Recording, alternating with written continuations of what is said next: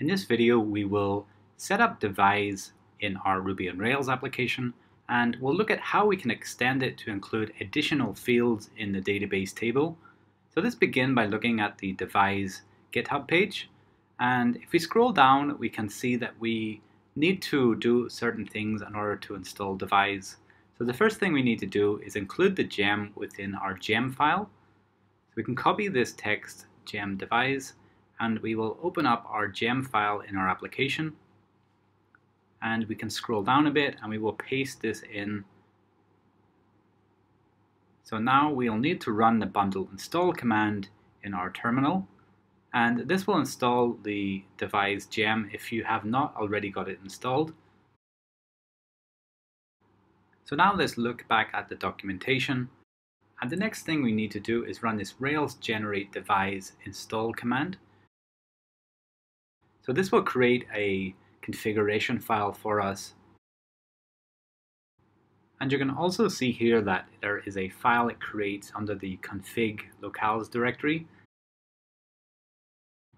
And directly underneath this, we can see some basic instructions on how to get the Devise gem up and running within our application. So one of the first things we need to do is copy this line of text, this configuration, and we place it within the config environments folder. So that goes under the development environment. So let's open that up and we'll find an appropriate place to paste this in. So we're looking for the action mailer and we have this action mailer perform caching, so we can paste that directly under this. And then the next step is to set a default path for your application. So if you already have your application set up, then you probably have that root path already set. So that is your home page route, and most likely you have that set already. Then the final two things here is you can include these notifications on your application layout, but I'm going to skip that for now. And the one thing I recommend that you do use, however, is the Rails generate devise views. So this allows us to modify the sign in page and the sign up page, and we can include additional fields there, change the styling of the layouts, and it's just really good to have those views for Devise. So I recommend doing that. And once again, we will go back to the documentation. So this is the point where we will generate our devise model. So we run this command rails generate devise, and then we include our model name. So in this case, I'm going to call our model account. So we start with a capital letter for account. And you can call it user or some other different name here.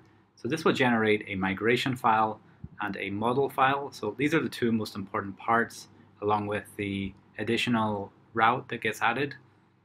Um, but we also have some test unit files that are generated by default. So now let's go and look at our migration file so if we open up the DB folder, and in here we'll have a migrate folder, and then we will find the migration file that was created by Devise.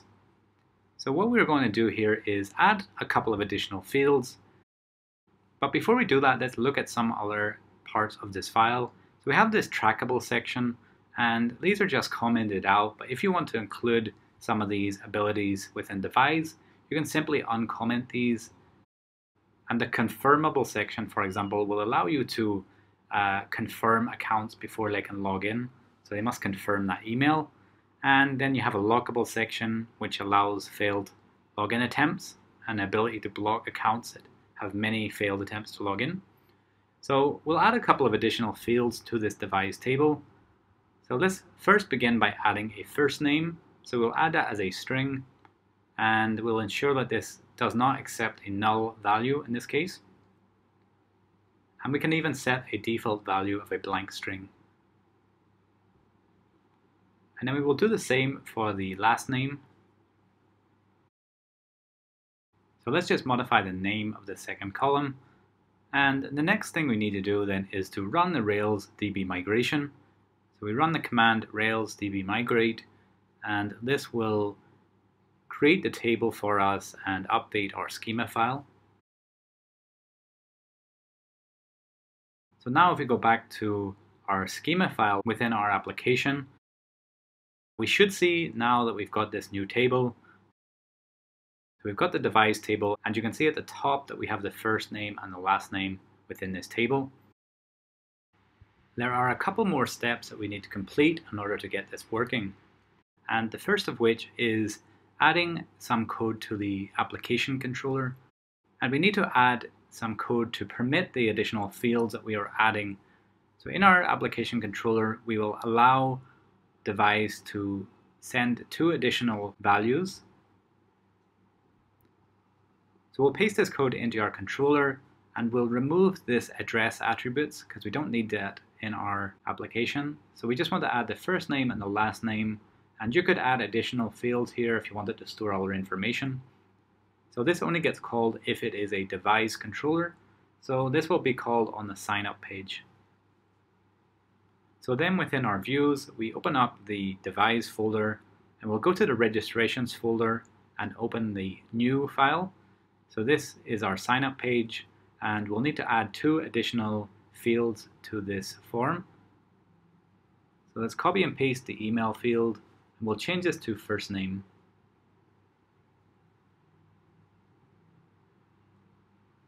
And in this case, we can keep the autofocus as this will be the first field in the form, but we'll remove it from the email field.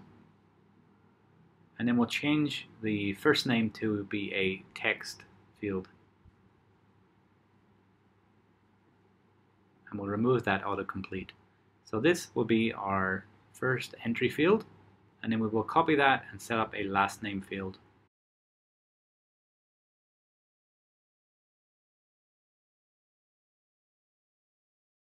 and we can remove the autofocus on this one.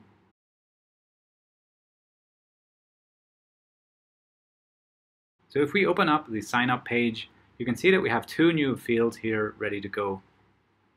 So that's it for this video. Hopefully you guys have found this helpful and make sure to subscribe to the channel for more Ruby on Rails videos.